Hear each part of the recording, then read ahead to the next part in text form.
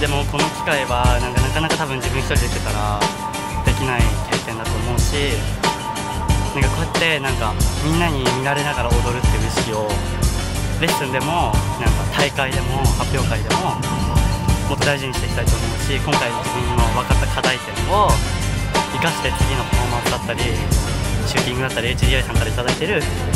あの企画の中でどんどん出していってこの1年間でまた成長していいダンサーになって2年目始めたり日本に帰ったりみんなにこうシェアできるようなダンサーになりたいなって今日改めて感じました。ありがとうございました。Thank you so much